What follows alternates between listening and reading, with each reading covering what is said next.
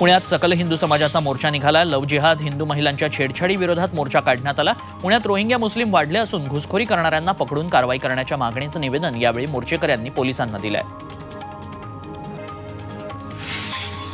नगरच्या शेवगावमधला संघर्ष काही मंडळींनी घडवून आणला. अशी टीका शरद पवारांनी केली आहे हमाल माथाडी कामगारांच्या एकविसाव्या अधिवेशनाचं शरद पवारांच्या हस्ते अहमदनगरमध्ये उद्घाटन झालं. तेव्हा ते बोलत होते समाजानं अशा संघर्षाविरुद्ध लढावं असं आवाहनही त्यांनी केलंय.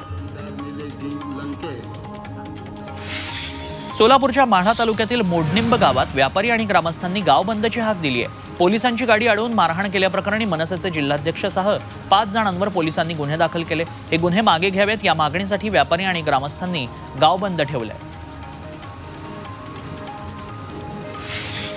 मीरा भाईंदर महानगरपालिकेनं उत्तन परिसरातल्या वेल्लंकणी या समुद्र किनाऱ्याची स्वच्छता केली आहे. जी ट्वेंटी अंतर्गत देशातील विविध ठिकाणी स्वच्छता मोहीम राबवण्यात आली आहे. त्यात उत- सगळं ठीक आहे ना? ही सांधीदुखी व्हेरिकोज व्हेन्स डायबिटीज तुमची काय व्यथा आहे? आता चिंता नाही कशाची? नम्मा होमिओपॅथी आहे पाठीशी. नम्मा होमिओपॅथी आरोग्य संजीवनी. उत्तन समुद्र किनाऱ्याची निवड झाली आहे. महानगरपालिका कर्मचाऱ्यांसह सामाजिक संस्था विद्यार्थ्यांनी स्वच्छता मोहिमेत सहभाग घेतला.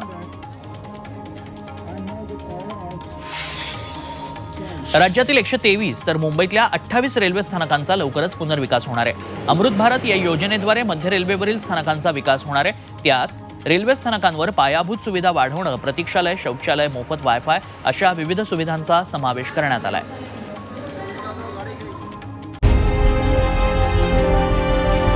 विकासाचा ध्यास म्हणजे